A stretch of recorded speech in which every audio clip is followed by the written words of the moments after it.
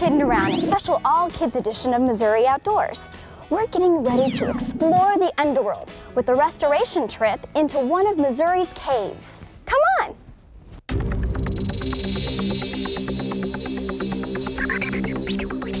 This is the entrance at Lone Hill Onyx Cave near Sullivan, Missouri.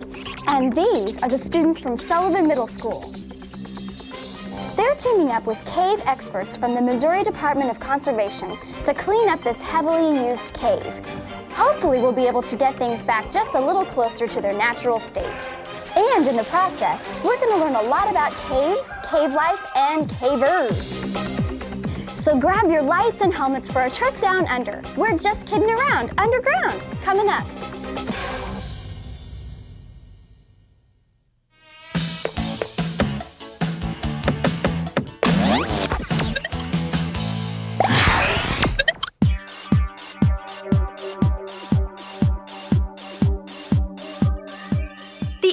A cave is always an exciting place, and our trip was no different. Most of us had been in a cave before, but they were what are called commercial or show caves. Caves altered with electric lights and walkways for public tours. This was a wild cave. No lights, no sidewalks. It was a new experience for most of us. A few last minute words, some quick adjustments, and we're ready. It's lights, action, caving.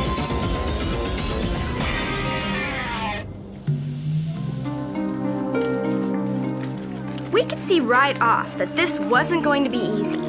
If we wanted to experience this cave, we were going to have to work for it. Okay guys, now we're going to go into a crawlway and this is where your gloves are going to come in handy because we're going to be crawling on gravel. It's kind of wet and muddy, but it won't be for too long, okay? Ready?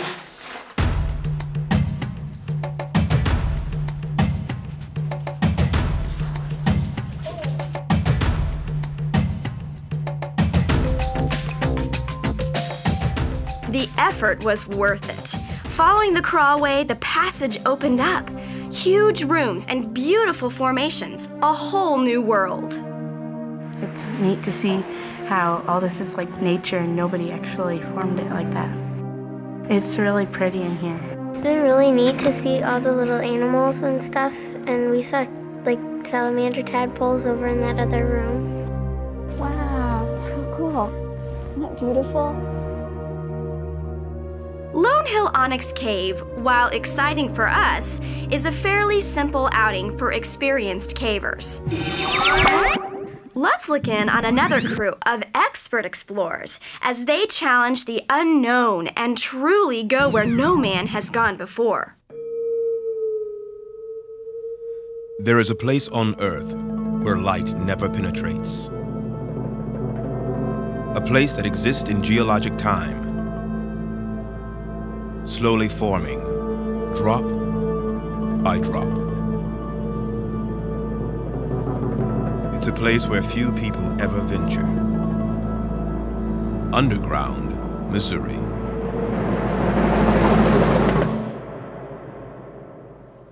Doug Baker is a cave cartographer. Doug and other members of the Cave Research Foundation are producing a complex and highly detailed map of Powder Mill Creek Cave near the Current River. Maps that we've been making in recent years are extremely detailed, and it's, a big jump from what earlier cave maps were. And I think what drives us to do that, part of it is just trying to show the cave like it really is, try to capture the feel of it as much as we can.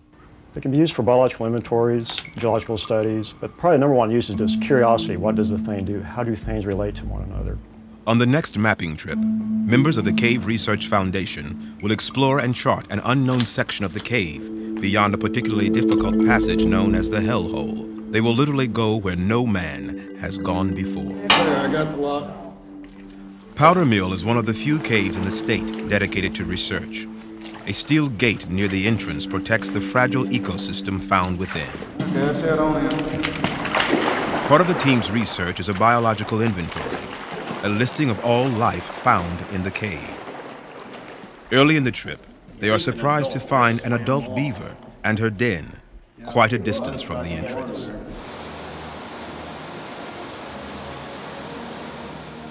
Deeper into the cave, the team approaches the hellhole section.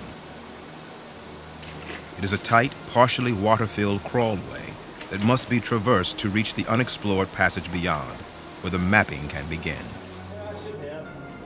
Hey guys, looks like it's opening up up here ahead. Following the Hellhole passage, the team, now wet, cold, and hungry from several hours underground, prepares to begin to survey uncharted portions of the cave. Lights on station. Gun for compass?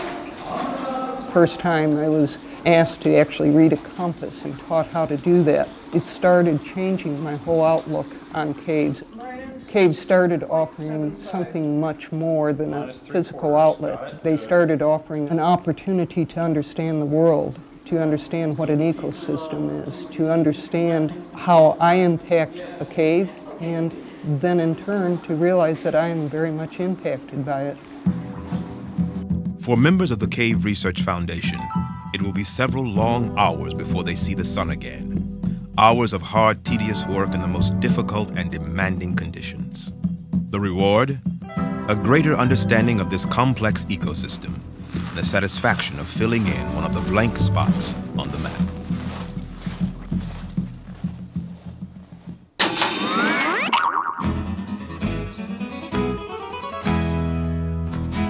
Bats are the only mammals capable of true flight. More importantly, they play an important part in the control of insect populations. Each year, bats consume thousands of tons of night flying insects. In fact, they can eat up to half of their body weight in insects during a night.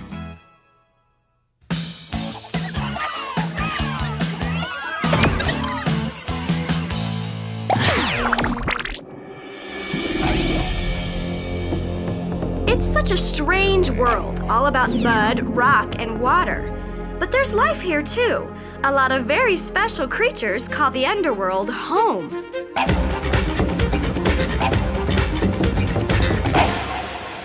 This is the cave salamander, which has got good eyes. It's got big, bulging eyes. It can see real well in dim light, but they will go way back in the dark zone of the cave and they eat insects. Pretty nice, huh? Did you see the patterns on it? Now, over here we've got a column where stalactite and stalagmite join together. And there's some more just past here.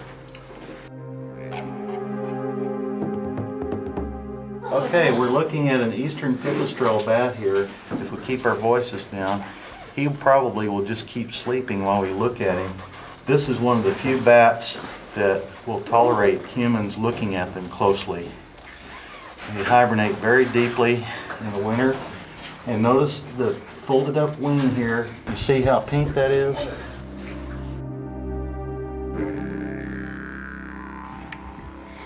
When I think about cave life, I think about bats. And you know, I really didn't want to get too cozy with them, but the more I learned about them, I found out they weren't that scary after all. In fact, they're kind of cute. Let's take a closer look at these fascinating creatures with some researchers working the night shift.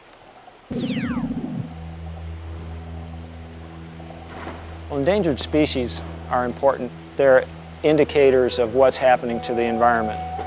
Wildlife biologist Rich Clawson is concerned about bats. Of the 13 species of bat native to Missouri, two are considered endangered, and one species, the Indiana bat, is declining rapidly. Clawson's job is to find out why. We're trying to understand more about the distribution of bats, um, mist netting surveys in parts of the state where people really haven't studied them in the past. The technique we use to collect bats is we use a system with mist nets. These are a, a fine mesh net with one and a quarter inch mesh, uh, very similar to a, a hairnet.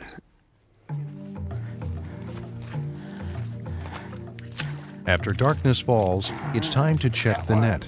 Yep, got one here. McGinsey is an experienced bat handler and works without gloves for greater sensitivity while removing the bats from the net. Bats have been known to carry disease, however, and bats found on the ground should never be handled without protection. In other words, don't try this at home. Gosh. Nice and soupy tonight. Back at camp, the bats are examined. Okay. What we have here is a little northern long-eared bat. The data is recorded, and the talk, quite naturally, concerns bats. Yeah, it's been shown that uh, little brown bats can eat up to 300 mosquitoes an hour, which is an awful lot of insects. Oh, wow. As the night wears on, there will be frequent trips back to the net, bats to examine, data to log, all to gain a little more information about one of Missouri's strangest and most beneficial creatures, It's very difficult to use gloves. the bat.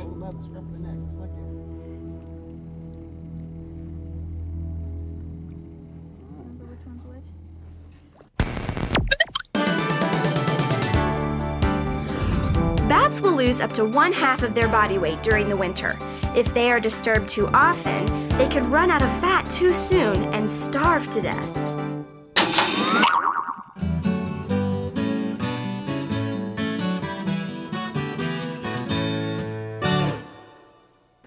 If you have too many mosquitoes and unwelcome insects around, put out an invitation to bats. Building a bat box is fun and easy, and the reward is fewer pests. You'll need rough sawn cedar or scraps of white pine and a few nails. Carefully measure the pieces, following the instructions, then get an adult to cut the pieces out for you. It's similar to building a birdhouse, but instead of cutting an entrance hole, we'll leave the bottom open.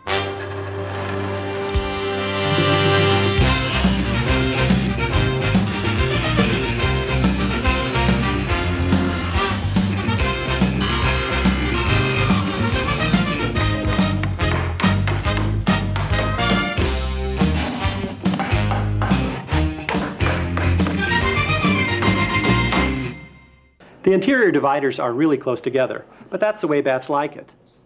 Mount the box high off the ground in a warm, sunny location. The bats will find the box and your bugs. If you'd like the building plans, just write to us. We'll have the address for you at the end of the show.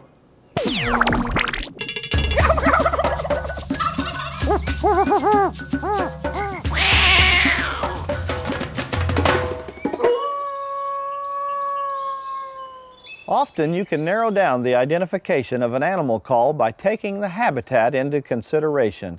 For example, there's only one habitat where you'd hear this sound.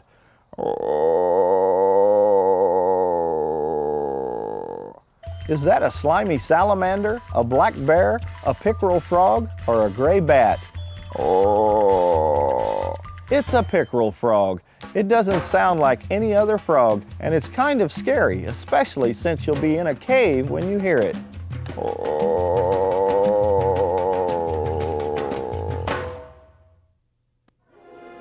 Missouri caves, jeweled treasures, and natural wonders tucked beneath the Earth's surface.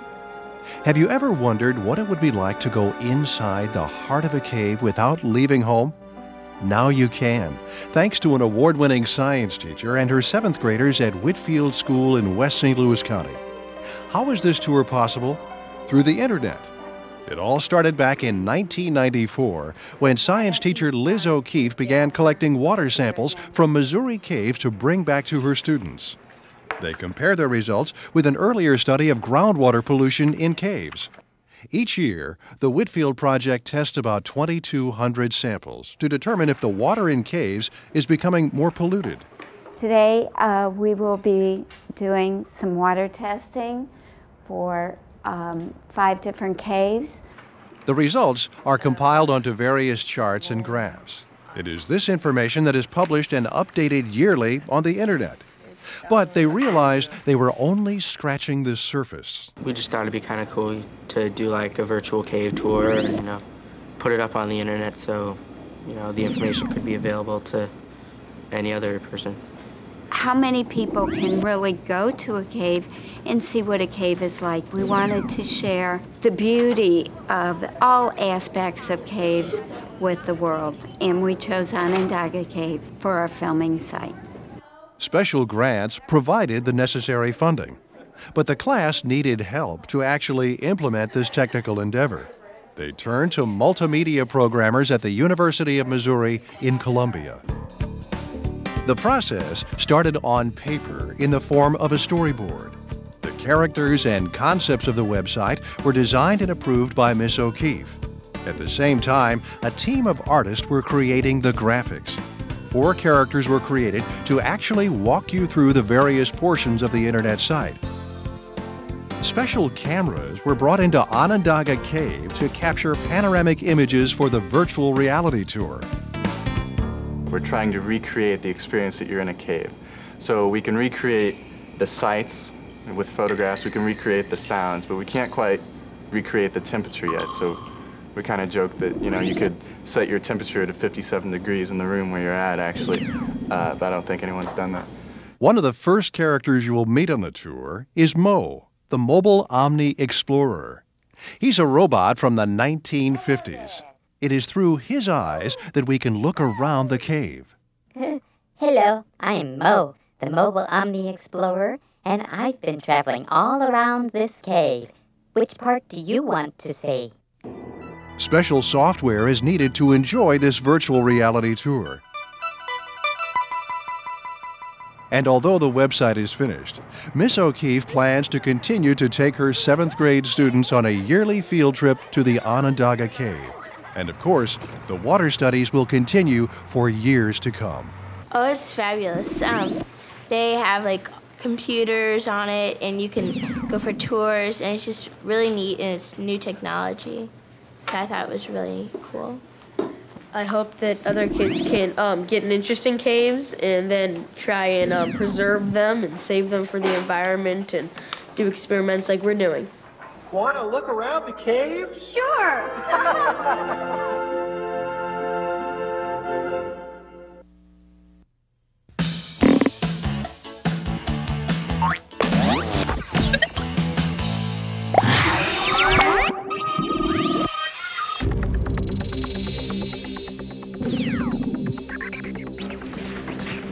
backpack sprayer. And guys, what this is, it's a backpack sprayer that people normally use for spraying chemicals on plants. But we've got nothing but clean water in it. And then down here lower, let's wet down some of this flow stone. Let's get it wet and then I'll let you come in with the nylon scrub brushes.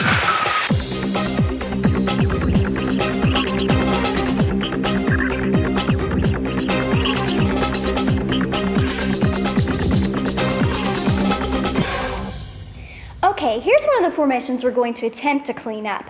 Hundreds of muddy hands have touched this beautiful formation, each one leaving just a little bit of mud in the process. Hopefully, gentle and careful washing can help restore it to a more natural state. Oh, it's rinsing off pretty well. Much better than I thought it would. See the initials somebody scratched in the flow stone? Now, if we just wash the mud out of those scratches, eventually new flow stone will, will grow here and cover that over. It might take a few decades, but it'll cover it over again. Cave exploration is serious business. In order to clean up this cave, we had to get in here safely. But our journey didn't start here. Before our cave trip, we had a pre trip meeting to discuss our equipment and safety issues. And you know what? This time, everyone was listening. Hello, how is everybody? There's 10 of you. Are you all fifth graders, is that right? Okay, well tomorrow we're going to concentrate on being safe in the cave and today I'd like to show you some of the gear that we'll have you wear to protect your bodies. This is the kind of helmet that we're going to have you wear tomorrow. It's got a little headlamp that you just twist and it turns on. It's very rugged and very important, two other sources of light, like two little flashlights or something. So each person is independently set up with three different sources of light. And so we have rules about caving. Number one, wear a helmet with a chin strap and a headlamp. Then you have two other sources of light in case your lamp goes out and you have a backup system. Having an expert describe the environment and the equipment we would need to explore it safely really helped. Not only did we learn about lights and clothes and boots, we learned what to expect. I was really uh, delighted to take the, the young students into the cave because their minds are so open. They don't have their minds set about things. If we show them the right way to do things, they're receptive to it. So I think this is a good age We're going to have several interesting things for you to, to learn about tomorrow in the cave. We'll look at some bats, maybe we'll see a salamander in the cave, and then we're going to do our part for cave conservation by trying to scrub some mud off some cave formations in the cave. And cavers have a rule of thumb that they follow, a, a special model. Take nothing but pictures, leave nothing but footprints, kill nothing but time. Water and a little elbow grease was all it took to restore this beautiful formation. But I think the cave provided us far more than we could ever return. We're not the first to make this journey underground. Caves have always played an important part in Missouri history. Let's take a look at how caves were used in times past. Darkness. For millions of years, Caves in Missouri existed in perpetual night. No light to illuminate the dazzling formations. No way to see the dozens of creatures that call this unique habitat home. Nothing but blackness. But sometime, in the distant past, light came to the underground world. Certainly, Missouri cave resources have been utilized from the very beginning at time when, when man entered Missouri, and they continue to be used to this very day. To the Paleo Indians are the, uh, the period of history from about 10,000 to 20,000 uh, years ago. Uh, caves were a, a very essential means of survival to those early cultures. It's that mystique of wanting to find out what's around the next corner. And the fact that caves are totally dark and that provides a great deal of mystery. But we have always been a people who liked adventure, who liked to explore. Uh, people came west because they were attracted to the resources in these areas. In the 1700s, settlers from the east began to enter the state of Missouri. Like the Native Americans before them, they used caves for shelter and protection. But they found another resource in caves necessary for survival one of the ingredients in gunpowder. And where the bats use a cave, they leave guano on the floor and they could extract this material, process it, and come up with saltpeter crystals, which combined with sulfur and charcoal produces gunpowder. The growth of communities brought on new needs, and new uses were found for Missouri's caves. Their spring-fed streams were used for mills. The cool temperature was used as cold storage. In St. Louis, caves were used as ice houses and as breweries. The turmoil of the Civil War brought violence and chaos to the state, and Missouri's caves were no exception. With their stores of saltpeter for gunpowder, caves were a valuable commodity, eagerly sought by both sides in the conflict. Quantrill's irregulars were said to have destroyed gunpowder mills in Meramec caverns, giving rise to the rumor that Jesse James, one of Quantrill's men, later used the cave as a hideout. In an era of bandits and bushwhackers, the darkness may have taken on a new significance.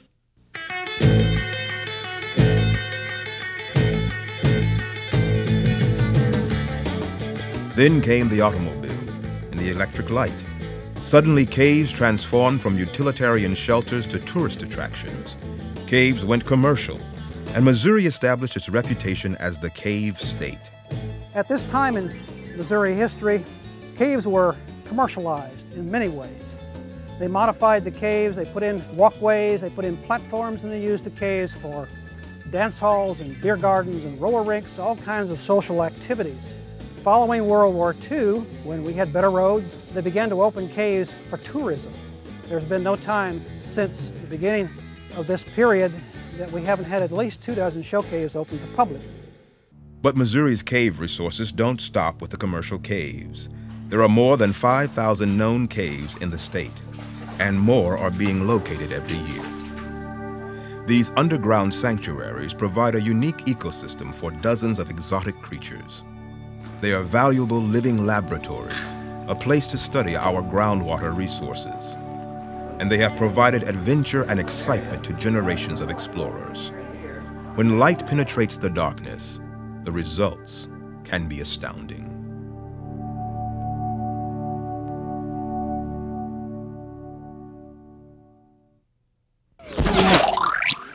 After a long day underground, we began our trudge toward the light. Tired but satisfied, knowing that we were leaving this cave just a little bit cleaner than it was when we arrived. Ah, daylight. You know, it's been fun, but there's nothing like a little sunlight to brighten up your day. It's great to be back in the Missouri outdoors.